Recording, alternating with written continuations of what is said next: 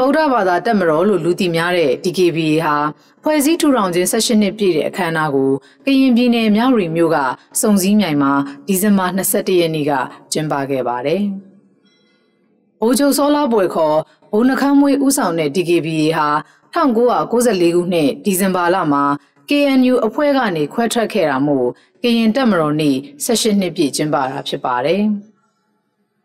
ဒီခမ်းနားကိုငင်းချမ်းရေးအတွက်ပန်းရလန်ဂီတအဖွဲ့နဲ့အတူဘုံမှုဟောင်းနေမျိုးစဉ်လည်းတက်ရောက်ခဲ့ပါတယ်။ DKBA တက်မတော်နေ့မှာရခိုင်ကမဟာမိတ်ဖြစ်ခဲ့တဲ့ရှမ်းပြည်လူမျိုးပေါင်းစုံလွတ်မြောက်ရေးအဖွဲ့ရလာလာဖကလည်းတဝန်လွာပေးပို့ခဲ့တယ်လို့မြောက်ရီမြို့နယ် NLD ကလည်းဂုဏ်ပြုတက်ရောက်ခဲ့ပါတယ်။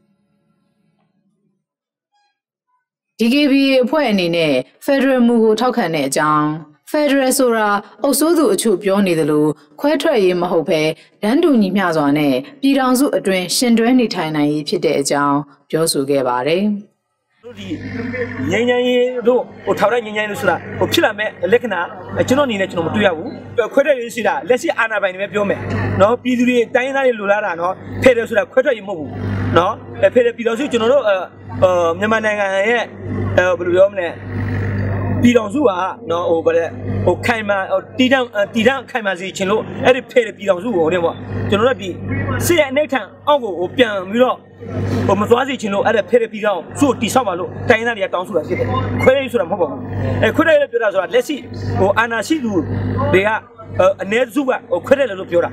နော်ဟိုတက်မတော်တွေကဟိုနှစ်ပေါင်း60ကျော်စစ်တိုက်လိုက်ခဲ့တယ်ဟိုအသက်သွေးတွေပေးဆက်လာတယ်နော်ဘယ်ပြောမလဲဟိုကျွန်တော်တို့လည်း ဟိုအလောင်းကြီးဆက်မယ်ဆိုတောင်နဲ့မြောင်းနဲ့ဟိုဆက်လို့ရတယ်နော်အေးပဲပြောဆိုစစ်မတိုက်ချင်ဘူးကျွန်တော်ပါစစ်ကိုဘယ်လိုလားလို့ပါ